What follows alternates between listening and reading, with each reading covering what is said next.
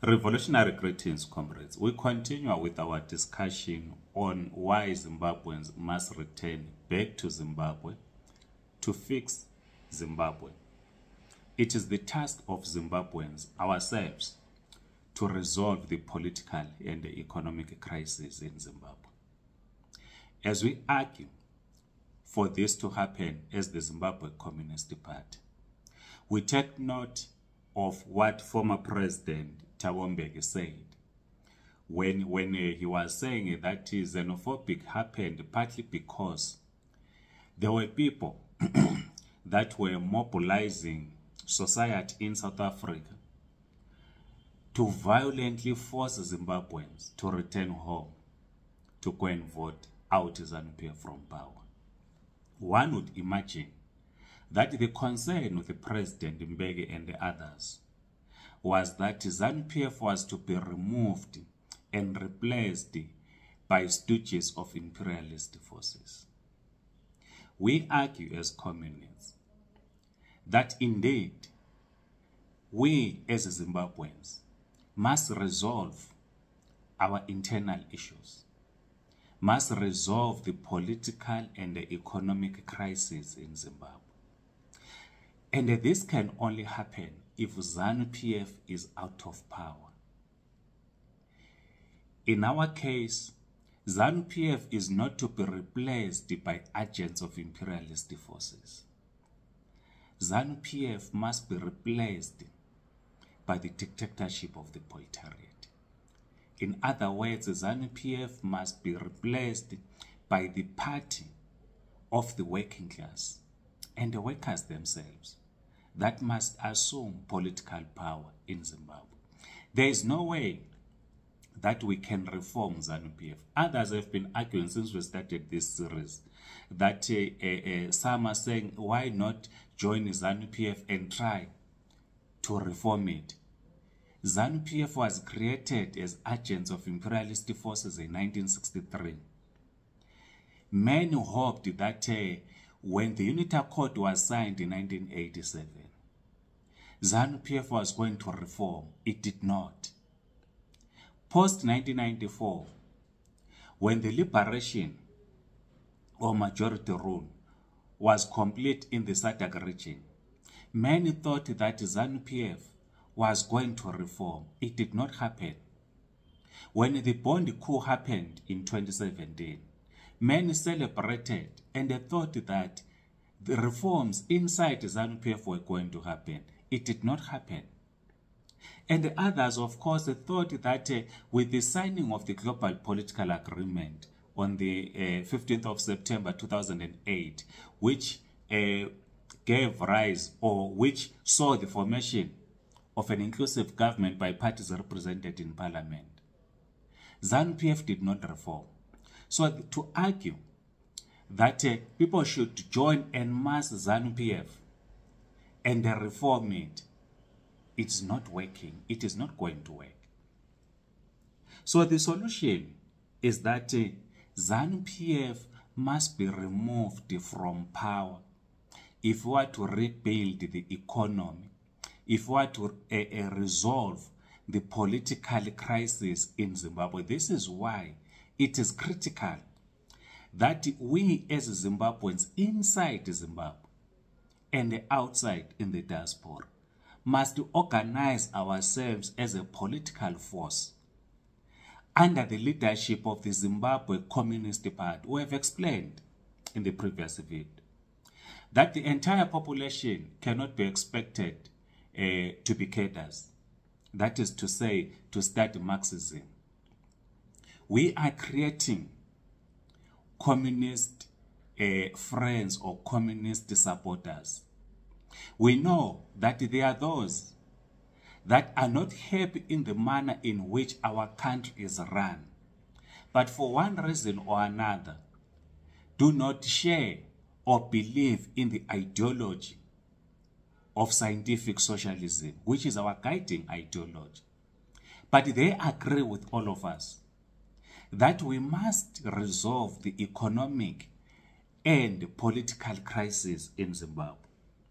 So as communists, we argue the migrant workers, we argue workers in Zimbabwe to be organized in trade unions, to be organized in residents associations, to be organized as supporters of the Zimbabwe Communist Party.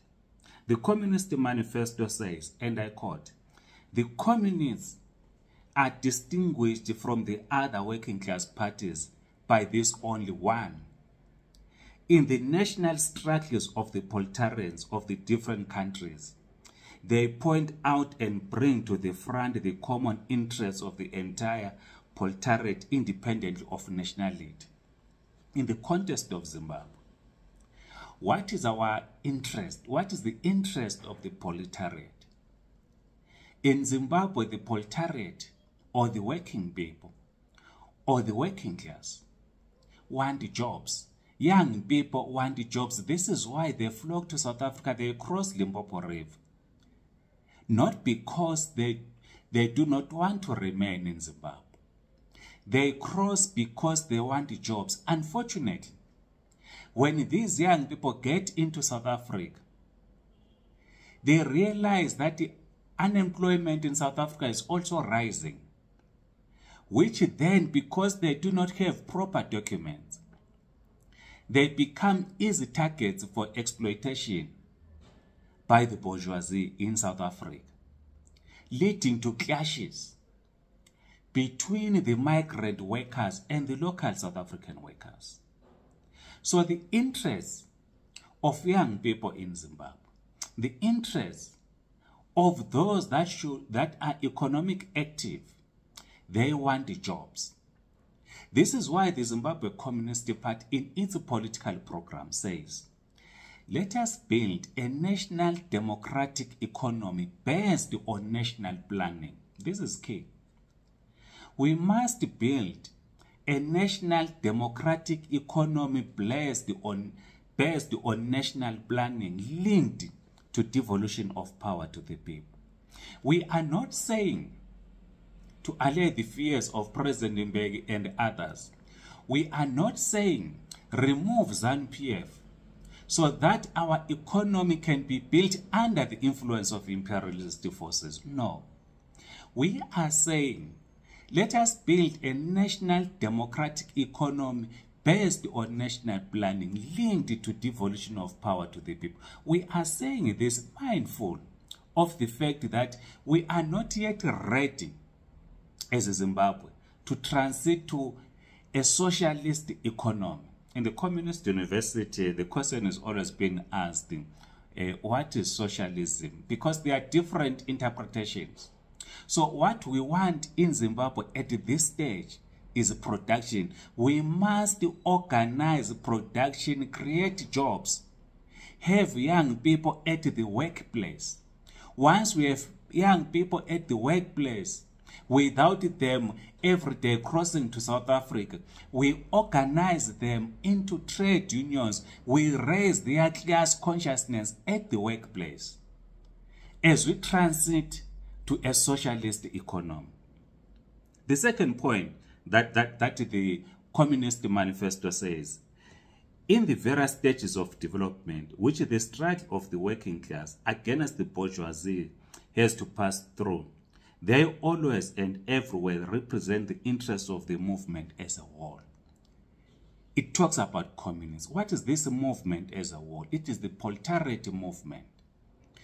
As the Zimbabwe Communist Party, in the case of Zimbabwe or in the context of Zimbabwe, we represent the interests of everyone in Zimbabwe, the working class, those that identify themselves as the working class. And of course, others, because of maybe lack of understanding, they think that when we talk of the working class, we only talk of the people that are employed. We talk of those that are economic active. But one reason or another, they are not at, at, at, at, uh, at the workplace. So we do not represent a section, a, a, a certain a, a, ethnic group in Zimbabwe. We do not represent the Shona. We do not or, on their own or the Ndebele on their own. We represent the entire mass of the people of Zimbabwe. This is why, as the Zimbabwe Communist Party, we are saying we are the majority because the working class in Zimbabwe is the majority in terms of numbers. It is the majority. So we represent the majority in Zimbabwe. As I conclude, what is the immediate, what is our immediate aim as the Zimbabwe Communist Party, which is in line with what the Communist Manifesto, Manifesto says? For us to say, let us mobilize everyone into Zimbabwe Communist Party supporters. The immediate aim, I'm quoting the Communist Manifesto, the immediate aim of the communists is the same as that of all other proletarian parties. Formation of the proletariat into a class.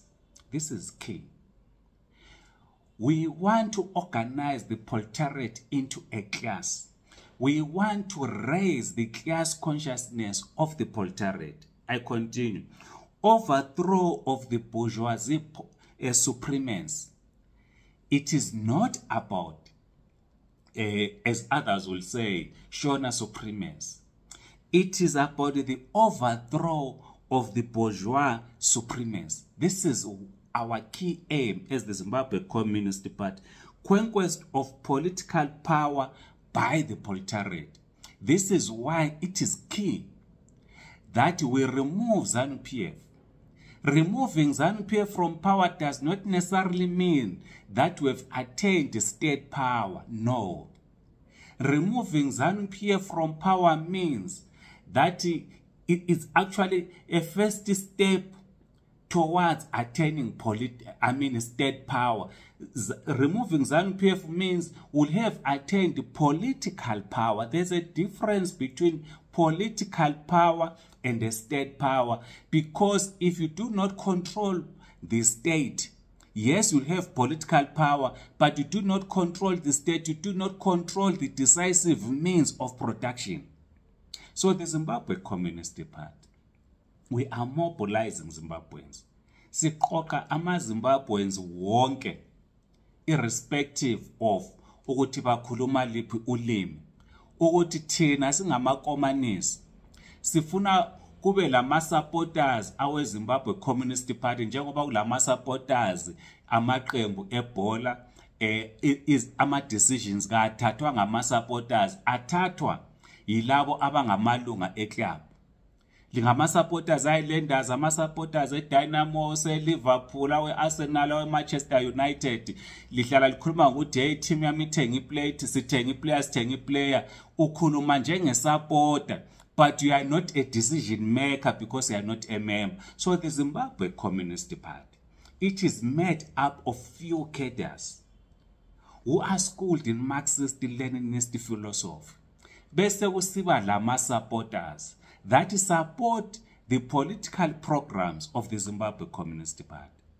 So i-first program or i-program yokuqala esikhuluma ngayo yikuthi kumele siqoqane kumele siziqoqe singamazimbabweans. Okwesibili nxa sesiziqoqile kumele sikhiphe izanu PF embusweni. Nxa sesikhiphe izanu PF embusweni sokumele sakhe umnotho wethu eh eh ohlelwa yithi izizalwane zezimbabwe. Nxa sesakhe umnotho wethu abantu sebesebenza yikho lapho esesidlulela phambili khona. Sesikhuluma nge-socialism. Please like this video subscribe to this youtube channel. If you are on tiktok please do follow us. Amandla comrades